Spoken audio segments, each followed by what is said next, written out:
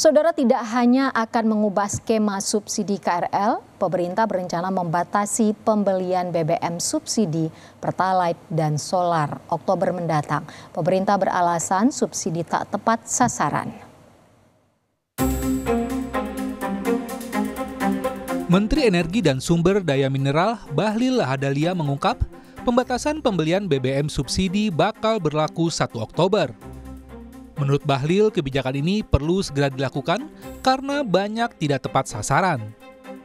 Kami kutip dari kompas.com Selasa 27 Agustus, Bahlil bilang, "Ya, memang ada rencana begitu. Diterapkan 1 Oktober 2024. Karena begitu aturannya keluar, permennya keluar. Itu kan ada waktu untuk sosialisasi." Namun Presiden Joko Widodo menegaskan wacana pembatasan BBM per 1 Oktober 2024 masih dalam tahap sosialisasi.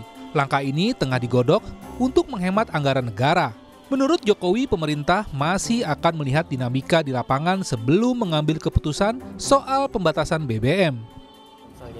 Saya kira kita masih dalam proses sosialisasi, kita akan melihat di lapangan seperti apa. Belum ada keputusan. Belum ada rapat. Yang pertama uh, ini berkaitan nanti ya, utamanya di Jakarta itu dengan polusi. Yang kedua kita juga ingin agar ada efisiensi di APBN kita, terutama untuk yang 2025. Ya.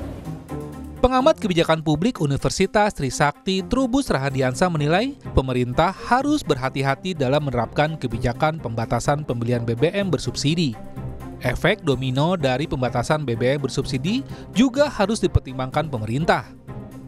Regulasi pembatasan dinilai perlu dibuat secara jelas agar tidak muncul persoalan dalam pelaksanaannya.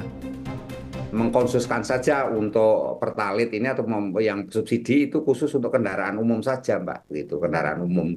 Jadi semua kendaraan yang apa namanya eh, bersifat pribadi itu semuanya harus ini menggunakan menggunakan non subsidi begitu Pak. Atau kalau mau ya ditambah saja misalnya untuk kendaraan roda dua mungkin yang cc-nya 100 misalnya. Nah, tapi kalau yang cc-nya 250 ke atas itu harus menggunakan pertamax misalnya seperti itu Mbak. Pemerintah harus memberikan efek dominonya itu yang harus diperhatikan. Efek domino kan harga-harga akan naik lagi. Jadi ini yang menurut saya juga menjadi pertimbangan bagaimana e, masyarakat bawah ini yang dihadapkan oleh banyak kesulitan-kesulitan dalam hal daya beli. Hingga April 2024, realisasi penyaluran Petralite mencapai 10 juta kiloliter atau sekitar 31,63 persen dari kota 2024 sebesar 31,7 juta kiloliter.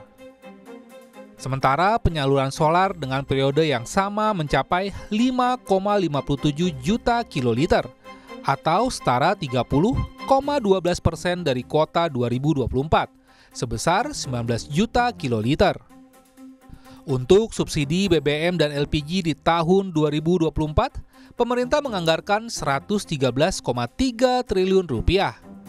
Angka ini lebih rendah dari anggaran di tahun sebelumnya yang mencapai 138 triliun rupiah.